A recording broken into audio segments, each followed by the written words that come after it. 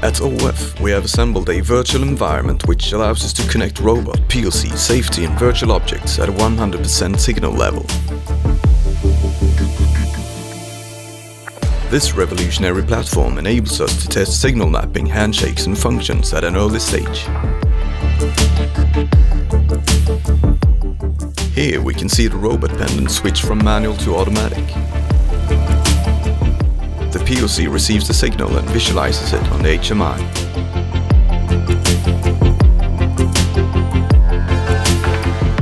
The motors are manually switched on at the robot and signal is sent to PLC and visualized on the HMI screen.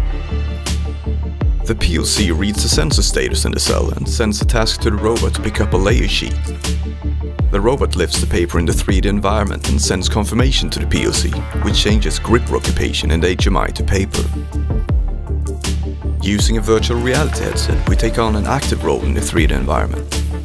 This allows us to interact with the virtual cell during design reviews and get visual feedback from the push buttons connected to the PLC. One of the major advantages of the platform is that we can test the safety systems using real scenarios. In the top right corner we can follow the PLC logic generating an alarm as the safety is compromised by opening the gate. This is also visualized on HMI in the bottom right window.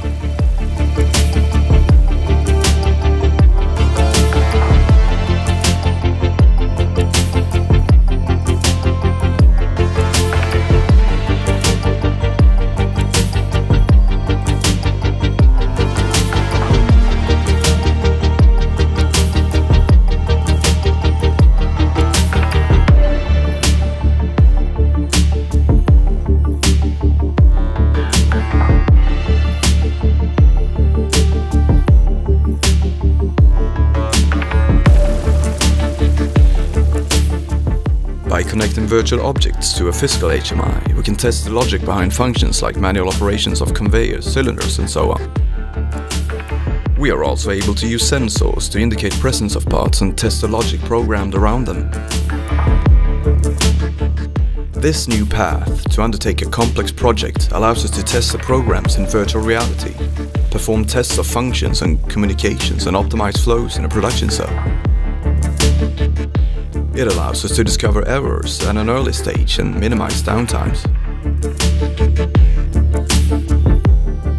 We can make sure that the cell performs to the customer's expectations, do a virtual factory acceptance test and educate operators that will later use the finished cell. All this before the cell's construction phase has even started.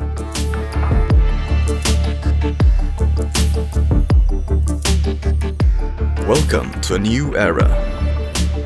Welcome to real virtual commissioning. Welcome to OWA.